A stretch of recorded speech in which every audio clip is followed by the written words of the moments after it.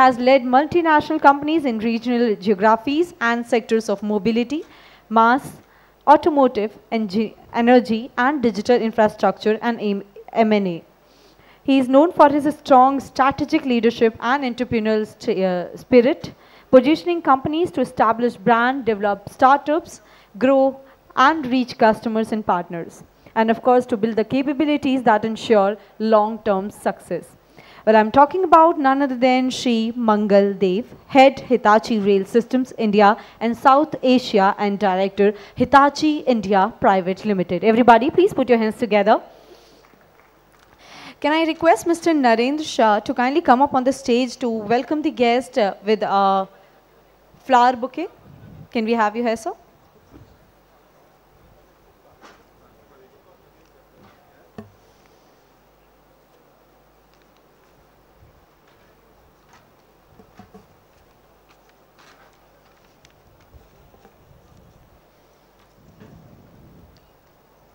Thank you. Thank you so much, sir, for giving your precious time. It matters a lot. Thank you. Well, now I would like to call a person who is a highly experienced senior director for the transit business for, the Wabtec Corporation in India with over 25 years of work experience in the rail transportation industry he has had, held diverse leadership roles with multinational companies such as ABB, Bombardier Transportation, Alstom Transport, and Wabtec Group. He has held a gold medal in physics uh, from Presidency College, Kolkata, and an electrical uh, engineering degree from the University of Kolkata. He also holds established credentials in customer relationship management from the Indian Institute of Management, Ahmedabad. I'm talking about Sri Preetam Ganguly, Senior Director, of Sales and Marketing, M&A. Everybody, please put your hands together for him as well. Very glad to have you on board with us. Can I again request Mr. Naren Shah to welcome the guest with the bouquet of flowers?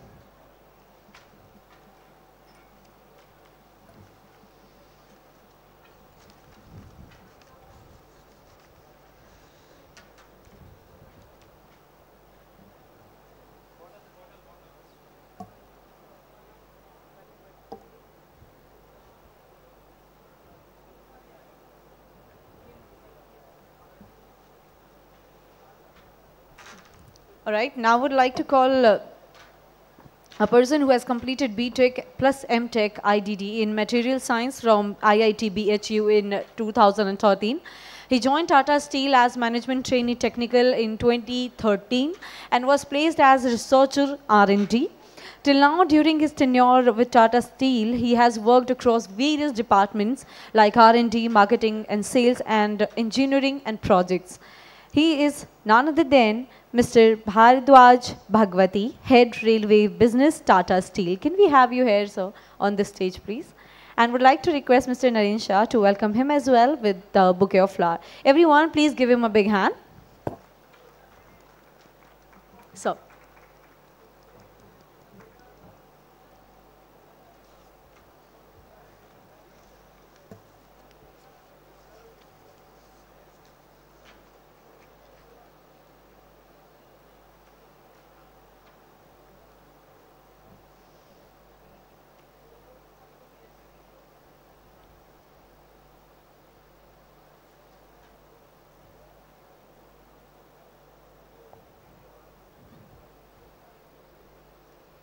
Thank you. Thank you so much, sir, for being here. So we have all the speakers on this stage. Now is the time when we call the moderator as well. He is a highly experienced mechanical officer of the Indian Railway with an exceptional and unmatched 38-year-old career in the field of rolling stock engineering and technology. He is best known as the mastermind behind the Vande Bharat Express train and was instrumental in ensuring that the train was delivered within a short duration of about 18 months only. He has extensive experience in rail rolling stock design, manufacture and maintenance, as well as the locomotive operations and railway heritage. He has also initiated several passenger amenities at stations, uh, stations and implemented environmental management, afforestation and green energy.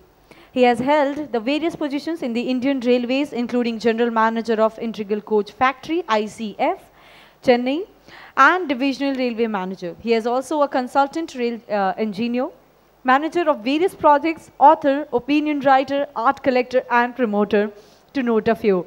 I'm talking about Mr. Sudhanshu Mani, creator of Train, uh, Train 18, former GM, ICF consultant. Everybody, please put your hands together as he makes his way. Can I request Mr. Narendra Shah to kindly come up on the stage to welcome Mr. Sudhanshu Mani.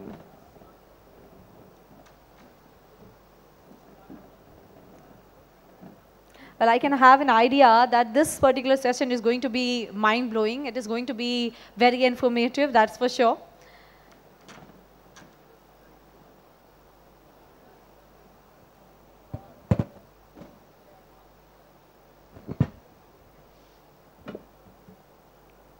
Such known and knowledgeable speakers we have today on the board with us. We are looking forward to have a great uh, time with them. I would request all of you to be seated and kindly pay your full attention towards the stage as we move forward for the next panel of the day, which is having the theme as Make in India, Make for World.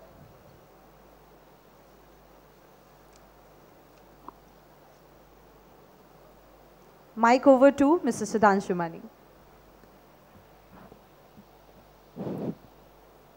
Good evening. Uh, good evening, everyone. Uh, it's kind of fortunate that the hall is uh, half empty uh, because uh, I'm sure some of you have heard me speak and uh, have, would not have tolerated old wine in new bottle. Of course, I do have this bel belief that what I speak is like wine and wine is like men. Men sometimes turn to vinegar, but mostly mature with age. So I think uh, what I do speak also matures with age, but it is the love of Mr. Uh, Narendra Shah that I'm here. And not as a speaker, but a as a moderator. So it's a great change for me not to speak, but to ask and listen. Uh, the subject is Atmanirbhar. It says indigenous export to India. I don't know what that means, but basically it means export out of India. Uh, so let me, I'll not go too much into my thoughts because we are here to listen to these gentlemen, uh, all stalwarts of industry. Uh, but I do say that we are somewhat lost between mindlessly global and uh, hopelessly local. The truth, to my mind, which stands to be qualified today, or modified is somewhere in between. Because I've been saying that transfer of technology is largely an oxymoron. Uh, transfer of technology cannot take place because technology is a creation which lives in the mind as well as the heart of the creator. I can express it poetic, poetically also, but I'm not going to do that today. Uh, my views are not important. What is important today is, as I said, these gentlemen sitting here, what do they think about it? And maybe we have, stand a good chance to learn from them. Uh, I'll begin by making a statement that we are a large country. And in railway sector, we are now showing the signs of being a large country through uh, large scale investment. As you know, the capex has gone through the roof, which gives us an opportunity to leverage the volumes leveraging the volumes for your own products first makes uh, background for then showcasing your products developed for your own and exporting them. Uh, I will start with you, Mr. Mangaldev. Is uh, what is your understanding of the true spirit of Atmanirbhar? And how do you think India, given the expertise and the ecosystem in the private and public domain today, and I underline private and public domain both because as you know, there is a, if I can call it backdoor privatization of rolling stock manufacturing on right now. Uh, so how can that be leveraged for uh, exporting? So what do you make out of Atmanirbhar and how do we well, thank export, you. so to thank say? you, thank you very much. And thank you, Inno Metro, for um, organizing this conference. I think uh, it's quite an apt time that we deliberate on these issues and uh, progress towards uh, growth of this country and also be truly Atmanirbhar and also uh, become global. So in short, uh, what I believe what is Atmanirbhar is that uh, having the potential of India that it is, whether it is being manifested and being leveraged, that is one, but there is a potential. And I think many companies, Indian and global, have identified and recognized that India has a potential, be it the engineering, management, or different fields uh, and different sectors uh, that we may talk about. So there is a huge potential and in some key areas, uh, India has demonstrated that uh, they can be world class. So when you have the potential and you can be world class, then what you need to become um, Atmanirbhar is that when you have the complete control on the complete value chain of a particular system. And let's say talk about rolling stock per se. So if you have, you know, right from the design concept stage to uh, you know, converting that into the requirements and um, the usage, the outcome performance into a specification and from that to defining your train and then dividing to different um, subsystem, manufacturing uh, together with your complete ecosystem, tier one, tier two, tier three supply chain system. And then be able to validate uh, to fulfill, fulfill those requirements and, you know, make a train which can then be uh, a complete uh, train fulfilling those conditions that you set out with. So when you have a complete control on the value chain and that you are doing indigenously in India, I think that is truly uh, for me the Atmanirbhar uh, uh, uh, outcome. And as I said, maybe we have taken a lot of time in becoming Atmanirbhar, but in many other sectors where I have been associated, and I always take example of Suzuki. So initially, of course, there was, uh, you know, components coming from Japan, assembly in India, and then slowly and slowly, you know, the different um, uh, processes became Indian, and uh, from one factory to two, and two to four, and design engineering center. So eventually, they have become Atmanirbhar. So that for me is quite a benchmark. And the day we are able to accomplish this in the railway sector in, for the rolling stock, I think we would have achieved that Atmanirbharta. Thank you. Uh, so I'll come to you, Mr. Ganguly. So you heard what uh, Mr. Mangaldev has said. So in kind of a, being a manufacturing hub in certain sectors, yes, we have done very well. He gave certain examples. Uh, do you think we can really be Atmanirbhar, as per your understanding, just by becoming a factory of the world or a developer of products? Good evening, uh, ladies and gentlemen. And thank you, Mr. Mani, for the question. It's a very pertinent one. So over the years, uh, we at Wabtec have always been a good, strong advocate of the Make in India policy of the government. So what really in our understanding is Atmanirbhar and what are we doing towards it? So for us, it's a combination of three things. The first is local manufacturing footprint. The second is source and get as self-reliant as possible in the business. So source from or develop suppliers in India and have a strong vendor base. And the third most important one, trying to answer what Mr. Mani has asked, is to develop competencies in engineering, which means that we understand what we do in India until the life cycle of the product that we actually develop. So some of the actions that we've taken at Wabtec uh, over the years has been not only having 1 million square feet of uh, footprint with six factories, but also you know, have products with over 70% local content. We're still not there, we need to be much higher. But that's where we've reached over the years. And what has brought us success and cost competitiveness is this quote unquote Atmanirbhar, what we speak about. And that's how we have developed an engineering center with competencies in R&D who are able to not only bring in global technology at the most competitive prices, but also independently customize the products to meet the requirements of the Indian market. So be it rolling stock, for example, electric locomotives, coaches, semi-high-speed train sets, are the different segments of rolling stock where the investment is on, and our energies and brains are towards how we can make these areas competitive, developed in India, sourced from India, and then move to the next step, which is manufacture from India for the world. So that's a two-pronged strategy for us to be Atmanirbhar. It doesn't happen very quickly unless we have a business strategy which is clear. So linking that with the business strategy, we not only want to grow organically, but also inorganically through strategic acquisitions and by building capacities in different areas that we operate in. Thank you. So, Mr. Bhagawati, we have heard uh, these two gentlemen. Of course, it comes a little bit from the perspective of uh, multinationals. But Tatas have a big legacy of developing Indian products. So how would you define Atmanirbhar and uh, how can the volumes in the rolling stock sector be leveraged for India to become a global player? Uh, not these exports that we do against Indian line of credit today.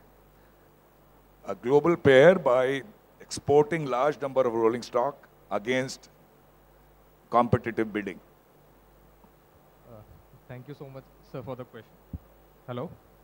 Yeah, thank you so much for the question and also warm welcome to everybody present here. Uh, I would like to take the question in two parts. Hello? Yeah, thank you, thank you. I like to organize my thoughts in two parts. One is the first part of the question where you spoke about what is our understanding of being Atmanirbhar. The second part would be how do we leverage it into becoming a global. So when we talk about Atmanirbhar, I think uh, both the other speakers have also covered it quite at length. The very key part is owning the value chain uh, of either manufacturing or providing a service as much as possible. That is the immediate uh, definition or the kind of thought process we think of when we, we are Atmanirbhar. But in today's world, if we see certain parts of the value chain, whether you like it or not, you have to be dependent on, uh, on how the globalized world is set up. Say today India is a net importer of oil. No matter how much we, we like it, we cannot have those kind of oil reserves at the very beginning of the value chain. Even if we want to control and completely have the uh, Atmanirbhar setup here, on certain things we still ha have to. Like uh, even Tata Steel, when we manufacture, go for our iron making and steel making, India has a lot of coal reserves. But the coal reserves in India do not have the quality of coking required to produce the same level of uh, steel. Uh, the efficiency goes down because of the ash content. So we are dependent on coal that's imported from Australia or elsewhere. But that is one part of it. So even though we are dependent on that, what we truly believe to, for us to be Atmanirbhar is to still be able to identify which parts of value chain we control and also design and develop solutions and products for the local domestic requirement.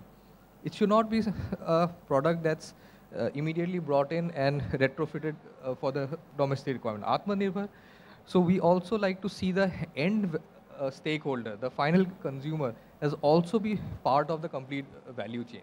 So owning that whole, even though we may not own parts of it, but when we are able to see a vision that, okay, this is what is required and we deliver on that, whether by owning the engineering or the most critical chain, that is what we feel is a vision of being truly Atmanirbhar. And uh, sorry, the second part of it, how do we become a global force?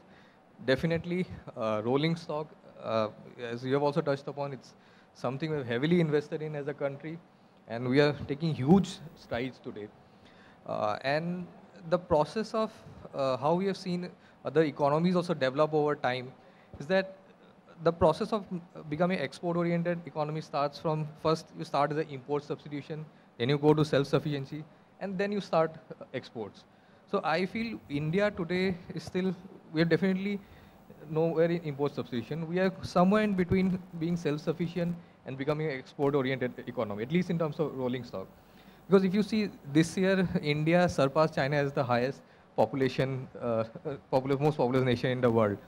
And the way our country is structured, the majority of the jobs, education institutions are all centered around big cities, which is leading to concentration of population in these major cities. So there's a big problem to solve in India itself. And that kind of problem, if you see, can only be solved through our public transport. So railways itself has a huge role to play. You, I mean, not to compare, but uh, most developed cities in the world like London, Berlin, they are where they are because they have solved the, or to major extent, their public transport and the last mile connectivity of it. So I see India also has a huge opportunity uh, where rolling stock can add value. And in the process of it, we are also gearing up towards adding value to, to, to the world. Thank you. Uh, so you talked about population and I was reminded maybe about 15, 20 days back, I saw this cartoon in a German magazine. And it said, uh, Bevölkerung, Indian Überholt China, which means, and what did it show? It showed an Indian train with people inside, outside, on the deck, here and there, with an Indian flag, overtaking a swanky modern Chinese train with a Chinese flag. Population, India overtakes China. Now, it was in very bad taste, I agreed, but we, have, we should ignore that and wonder as to why we have reached there. So you said something very important, very music to my ears about ownership. So I do believe the thrill of your own, uh, the pride and ownership of having done something can, or trying to do something can make you do 110, 120% more than uh, what you are otherwise capable of, which is not to liking of everyone हम आ भी करते हैं तो हो जाते हैं बदनाम, वो कत्ल भी करते हैं तो चर्चा नहीं होता। आज आपने आपने स्टेज पे कत्ल कर दिया है, भगवती साहब तो चर्चा में आएँगे आप भी। But anyway picking up from what you said that we have achieved world standard world world level in certain aspects I am not too sure about that in rolling stock. Would you, would you, would you like to say, uh, no, I'm asking you, Mr. Mangaldev, where, which are the, no, realistically, which are the areas, rolling stock is a big field, where you think, and you have vast experience in the, uh, in area of rolling stock, where do you think we have reached somewhere near the world, world class and where we need to work much more to go there? Thank you, thank you. I think that's very, very important uh, against what are we benchmarking? So I gave an example of Suzuki and you know, obviously Suzuki had its own uh, ups and downs in terms of when they used to benchmark against a product made in Japan and used in India and a product slowly and slowly becoming Indian. So, you know, we have seen that. So I think what we have to do is benchmark against what are we, you know, benchmarking. So global standards, at least in the metro segment, I would say the standard that we are following are world standard. And where are we in terms of metro? So we have two or three factories supported with the complete design and Indian uh, supply chain and also now carrying out the maintenance, operation and maintenance. So I would say that the, if you look at the Indian metro, which is being put into service at uh, close to uh, let's say 10 to 12 crore per car at, at today's rate. I think it is a kind of a great performance by either Alstom or even BEML or anybody else who is doing in India. Worldwide, what I see uh, is almost like uh, 1.5 million. This is close to 1, uh, 1.1 or 1.2 so worldwide, you would see the minimum cost of a car, uh, you know, matching the similar standards is close to 1.75 to 1.8 million dollars. So that way, I think we have achieved a great uh, benchmark in India. And uh, Railways definitely have created a benchmark, and I think you are the best person to uh, address that. And uh, we can only, you know, make comment sitting on the fence.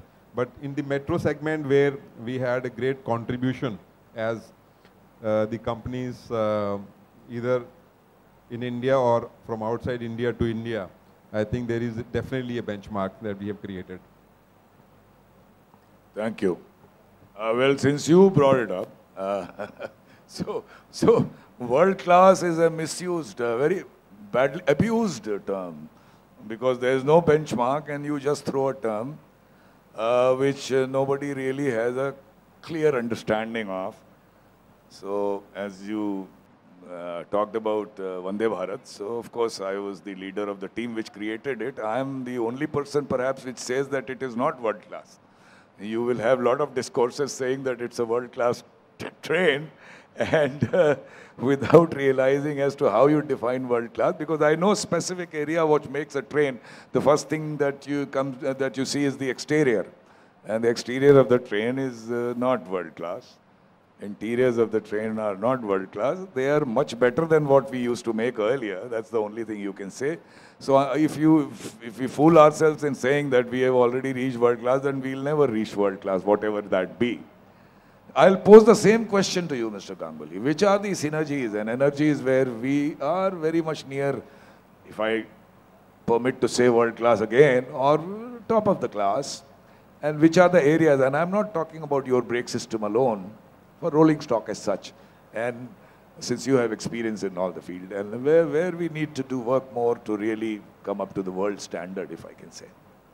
Yeah, so uh, let me try to answer the question uh, in a slightly different way. So I think Mangal very aptly touched upon the topic that India is a very price sensitive market. So when India is a very price sensitive market, it becomes very, very difficult to get the best technology, let's say world class, at that particular price point. And that's always been a challenge uh, wherever I have worked in my career, be it in building a metro train or building equipment now for locomotives or the locomotive itself. So if you really see what uh, Mangal said, the prices of a metro rolling stock in India is half the price of what it is in the US, for example, even lower. The price of rolling stock is 20%, 25% lower than what we see in China. So when we are trying to supply equipment for that rolling stock to our customer, our customer is already selling it at a very low price. What we really need is an upgradation of the specification and the focus on life cycle costing, if I can really say that, and if the life, and we are moving there, as we also heard uh, Mr. Keshav earlier during the day, that the RRTS, which is the first Meerut project in India, they are already moving towards outsourcing of maintenance. And that would give a lot of freedom in trying to bring in efficiencies, getting in technology that will result in you know, much more competitive as well as passenger comfort and experience will improve. But it will come at a price. So, you know, how do we balance this, uh, these two things is probably the key. Now, just to take a few examples, uh, for example, let's say, let's take air conditioning, for example.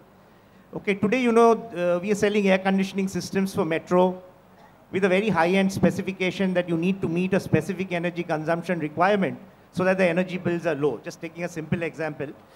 However, the, globally, we have moved to new refrigerants, we've moved to green filters to reduce emissions, etc. Now, obviously, we have the vision, let's say, in Indian Railways to move to zero carbon emissions by 2030. But what is the price that we are prepared to pay for it? Okay, so this is probably the challenge uh, that we are facing as an industry. And hence, you know, we always, while trying to bring in a technology, always keeping an eye on the price. The world has moved over, let me take another example of locomotives. Okay, we have moved over to, let's say, hydrogen fuel or a battery powered electric locomotive. But today we are still into high horsepower in India, just moved to it, with Siemens getting the 9,000 horsepower locomotive awarded. Otherwise, we've been on the 6,000 horsepower locomotive technology forever. And fortunately, as again uh, Mangal said, Indian Railways has been smart enough to arrive at a model and also get the price from Siemens, a multinational company, at a very, very cheap price point. So again, how do you really offer a technology that's uh, going to be, let's say, next level. You're only going to meet the requirements of a tender specification. So that's the reality. Now, how do we navigate this situation? What else can we do in terms of linking it to a life cycle cost? Whether the OEMs of the systems can also be married for the entire life cycle of the, of the coach or the locomotive or the train set. I think that can bring in a little bit of technology differentiation and get in also global technologies much faster into India. But we've fixated on only the, uh, the initial costing and we only bothered uh, about getting in a world-class train, but at a very cheap price point, I think it's going to be a little difficult. Yeah, so partially, I mean, you seem to be saying what I say otherwise is because technology. Uh, I didn't finish it. You clapping for Mr. Ganguly? so, uh, so, so it's chicken and egg. Technology really cannot have a cost. Technology has so many opportunities, and so it has a cost which cannot be worked out on the back of an envelope. Uh, so, and we are not able to afford it in the larger span of Indian Railways, so to say. So, what's the alternative? Create, create your own technology as far as possible, unless the gap is too large.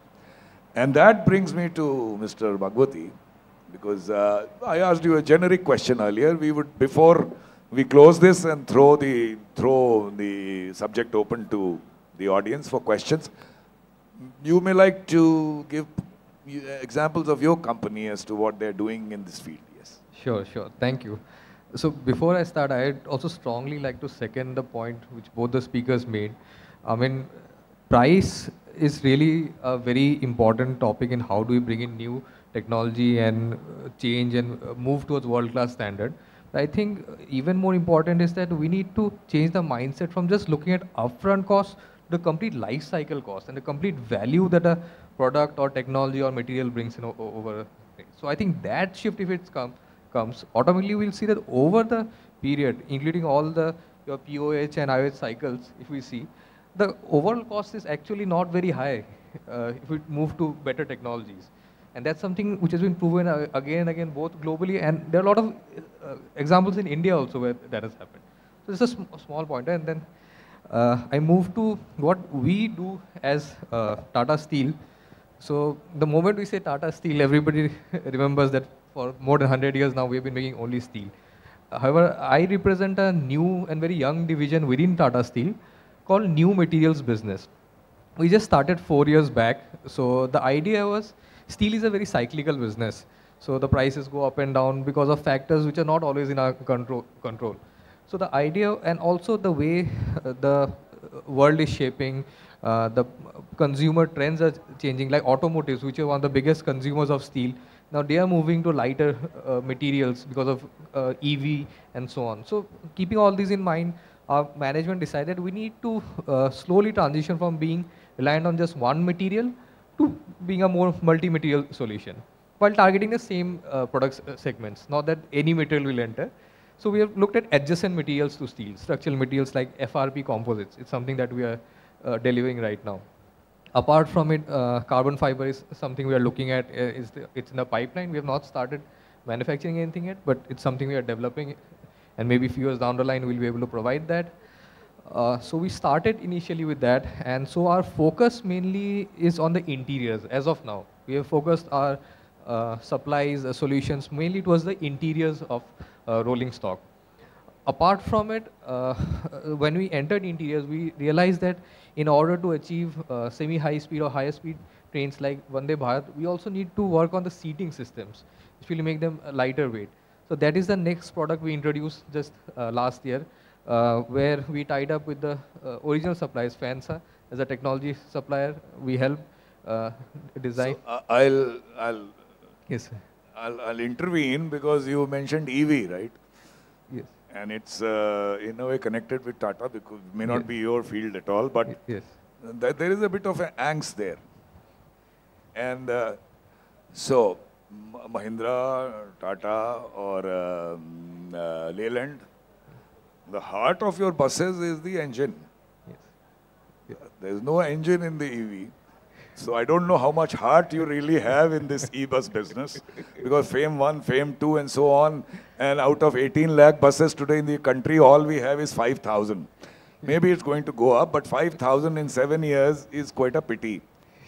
and whatever we have for 12,000 horsepower we have the converter made in India for Yes. 6,000, for Yes. 9,000, for whatever, train set, train 18, Vande Bharat. But for your EV, all the converters, the heart of the system, the motor, the converter, the batteries, of course, I can understand because of all that comes from mainly China and other Yes. places. Yes. Would you like to speak about it or it's a subject you wouldn't like to ch- touch uh, upon? No, I- I, I would very much like to touch upon it. It's just that I'm not competent enough to talk about it because it's a uh, separate wing, Tata Motors, who, who, So who handles it. I, I just wanted to add there, it's not, see, we must realize that private companies have a bottom line. yeah. The only company, if I can call it that, is government which has no bottom line. And it's a big spender. So it should spend in a manner that companies can work uh, comfortably when they, without their bottom line getting disturbed. That has to be strengthened. After all, the government is the biggest, by far the biggest spender. Yeah. And uh, that spirit of Atmanirbhar has to be encouraged by also uh, no, it- it's no good blaming the private companies that enough R&D is not done because the spender is the government. Uh, so I just brought it in, and uh, at this stage, let me take a dig at Mr. Mangaldev and Mr. Ganguly. Is uh, and that is uh, again that old wine which is uh, मेरे मेरे शेर आईना खाने में तेरी बेशुमार अदाओं के I, I can go poetic about your beauty. But there is some elegance, some style of your beauty which I will not reveal to you. मेरे शेर आईना खाने में तेरी बेशुमार अदाओं के मगर ऐ, मगर ऐसी भी है कोई अदा जो रहेगी सीना राज में which means there is certain certain things which will remain in the buried in the recesses of the heart of Mr. Ganguly and Mr. Mangaldev, and you are not going to get access to that on this platform. Uh, so I invite questions from the audience. Uh, you- yes, yes, sir. Mr. Suri. Yeah, after this. Sir, uh, can, I, can we give a mic to Mr. Suri here? And uh, please, uh, please direct the question to one of the okay. one of the three, sir. Okay. Or you, four you don't, you... you don't want to take a question, eh? Okay. No, I, I can, sir. Okay, no. okay. He's going to direct okay, it to S.K. Suri, retired general manager, Rail Coach Factory, Kapurthala. Something directed at Mr. Preetam Ganguly. He, as well as his MD, lady MD, they have all along been advocating that the Indian Railways should place orders based on the life cycle costs. Okay? They have been using, uh, saying it repeatedly in all platforms. Okay? The tenders for Vande Bharat coaches, which have been invited, they cover the initial cost plus maintenance for 35 years, which is the uh, life of a coach. So, is Mr. Preetam Ganguly happy? Thank you, uh, Mr. Suri, for asking the question in the forum. Of course, I'm happy, but partially happy. Because, you know, the reason why I say is partially happy, it's a step in the right direction because you are marrying not only the rolling stock car builder, but also the supplier. Now, the question is, what is the model of maintenance the rolling stock car builder is going to follow? So there are three parts. I won't be very long. I'll just try to be brief. There are three parts of a maintenance scope. First is you have to, over the life cycle of 35 years, post the warranty of the last train, which means it's a project of some 45, 46 years, you will have to have an obsolescence management plan, so that's the spare part supply over that long period of time. The second is the overhauling. Okay, so depending on how you design first, your capital cost could be higher, but you could be more efficient. So instead of overhauling something in nine or 10 years, which we could be doing for Indian Railways, we could look at systems which are expensive upfront, but the overhauling frequency will be higher. So this satisfies us. The third part is some work that will be outsourced. It's not, it's not going to come to be, it's not going to be the entire maintenance of our systems to be done by us. Because it's not only needed, but also if you see the price points that the rolling stock car builder has got, it's very competitive. And we've not lived through such a 35 year life cycle costing before in India. We also don't have, to be very honest with you, the experience of this Vande Bharat train set running for too long to know what the maintenance costs really are for our systems. So having said all these, uh, uh, as Mr. Mani said, we have to be positive about it. It's a step in the right direction. And if we are given the entire ownership of the 35 years, if you win the subsystems from the car builders who have won it. I think uh, it's definitely going to help in, uh, help in bringing in better technology upfront with a better life cycle costing, uh, and time will tell uh, what technical solutions which we can propose that will be accepted by the car builders. So, uh, sir, uh, okay, sir. partially happy, Mr. Ganguly, because uh, इस तंग ये दिल का गिला क्या ये वो काफिर दिल है ये तंग ना होता तो परेशान होता means it's very difficult to please him, sir, but he is half pleased. Uh, Namaskar, sir. Uh, I have one question. I'm Dr. Jagdish. Yeah, hi. So my name is Alok. Suranshaji, we had connected earlier, if you recollect. So I have questions for all the three gentlemen sitting on the stage. Right. It's a very simple question. I think Sudhanshuji actually mentioned, you know, very big words of innovation, Atmanirbhar. Look, you're talking about railways, we, which, which hasn't turned a turtle in the past 150 years, right? And this is the first attempt which Mr. Sudhanshu has, uh, Sudhanshuji has actually taken in actually making something move in, in, the, in the ecosystem starting today, which is 2023, you just seen the past one year of some kind of movements and innovation or some kind of developmental infrastructure. What do you think real innovation is, uh, is all about when it comes to Indian Railways?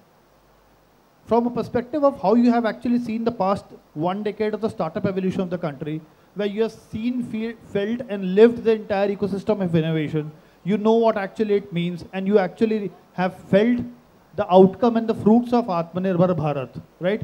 Take for the sa- sa- Uh, sake of sir, UPI. I, we got your question. Yes, thank now, uh, let me choose uh, the person who would reply because the most neutral person here in respect of Indian Railways would be Mr. Mangaldev. So, would you like care to Yes. reply to his question? Thank you. you know, to bring in innovation and manage the complete uh, Atmanirbharta, I think we, as I said, you know, we have a huge potential, but we have not come together. We have not come together, you know, both Indian Railways as, uh, you know, the overall, um, not only the manufacturer, but also, you know, who operates and maintains the trains, but also the industry. And we can blame on so many things in the past.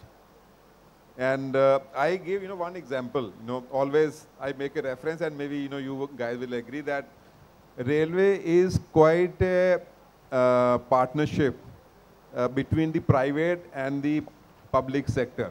And I see some success stories in uh, Germany or in France or in Italy or in Japan where both the government and the private sector where the ecosystem developed together hand in hand. So they supported each other without you know doubting but building a trust. So can we just look back in India and you know identify was there any such uh, attempt?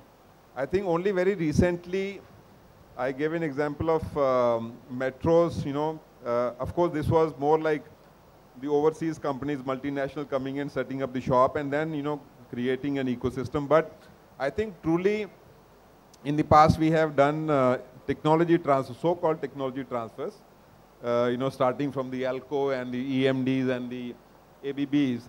But I always believed, you know, when I became a little bit knowledgeable, interacted with railways, I believed that, you know, the massive bandwidth spectrum that railway is, one single person, one single company cannot do it. You know, whatever funds, uh, skills, manpower, or whatever they can bring in, it's a combined effort and maybe, you know, we have to look back and see, did we really do all that is required to be done? Thank you. I think that that that was a very sir, concise I and have a small answer. question. Uh, so the lady with the whip is here, so Sir, we will take just- one Just one, question. uh, one last question Yes, because sir. the gentleman, Uh, please. I'm Dr. Jagdish Shivhare. Uh, you are welcome to interact with the panelists uh, off the platform. yeah. Yes, Uh, sir. I'm Dr. Jagdish Shivhare, uh, professor and ex-scientist ISRO. Sir, uh, according to a survey, our country has the capability to create 40 millions well-paid jobs by 2025 and 80 millions by 2030. So my question is, how many millions jobs will be given by the Indian Railways and allied industries by 2025 and 2030? Uh, the question is for uh, you. Have a favorite panelist here? Sorry. Hello, hello. Question just I want to know. Anyone can answer. Anyone can answer. Yeah, because uh, it's, your question is so heavy on numbers because I can see everyone taking a back seat, but the youngest here is Mr. Bhagawati, so I pass it on to him. I mean, asking such numbers is a little unfair, so you don't need to talk numbers. You, you can, you can, you know, generally answer the question. No, no, uh, absolutely. So I think the key uh, that we have seen there's a change that has come over last couple of years, and it's not just in rolling stock. Overall, uh, the way the country is progressing, uh, Make in India is certainly one of the key, uh, uh, I mean, drivers right from the uh, government of India, which is bringing about a lot of change, which is creating a lot of uh, not just industries take up and set up facilities in India, but also a lot of entrepreneurs that, that are coming up. So uh, when we look at the kind of opportunities that is being created, and again, uh, the one of the sore points which I touched initially was the population, uh, the growth of it. So every challenge also brings about an opportunity. If we also see India is today also the biggest market in itself. The consumer base that we have in India is unbelievable. So to looking at all these opportunities together, it's not just the companies that, that will be creating jobs, not just the government that will be creating jobs, there'll also be entrepreneurs who will be encouraged to, to take, take up. Uh, I cannot exactly give up a number, but I certainly see uh, it going in a very positive di direction. And the more this takes up, the more, see, success breeds success. When you see some companies doing well, creating more jobs, whether it's entrepreneurs or companies, it'll breed more people to come up and take up and create such opportunities. Thank you. Uh, so how over to over to the MC here because we have Thank- burst our time. Well, uh, as I said earlier, that the scope of conversations is always open, so we can have a one-to-one talk.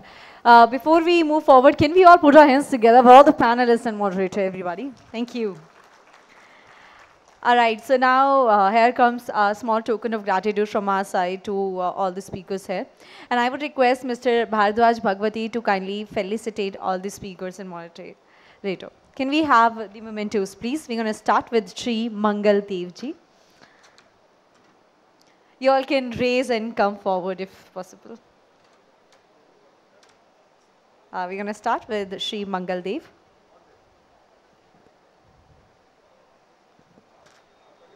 Yeah, we all can come in front.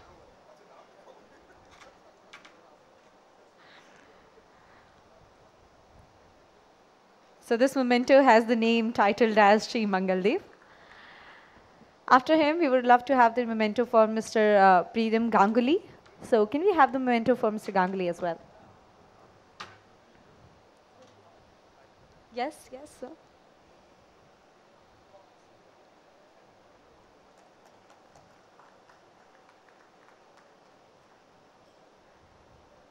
And we're going to have a token of gratitude for uh, the moderator we had uh, in this panel, because of whom we would uh, we had uh, a lot of information. Of course, it's always the matter of the questions, and he is none other than Shri Sudhanshu Mani ji. Can we have the memento for him, and give a round of applause, ladies and gentlemen, to him. Also, we can have a group photo once we are done with the mementos. Thank you. Can we have a group photo, gentlemen? Yeah.